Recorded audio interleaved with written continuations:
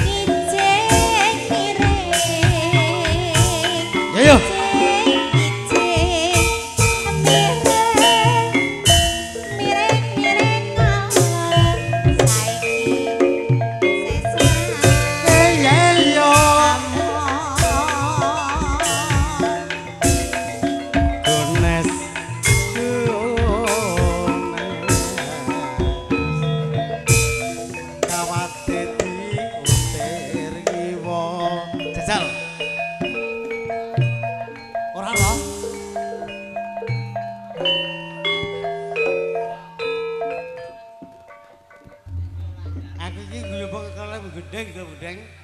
Ning menawa ndangak iku apa terus ora pedhot suaramu. Lebih dawa ngono lho, Pak.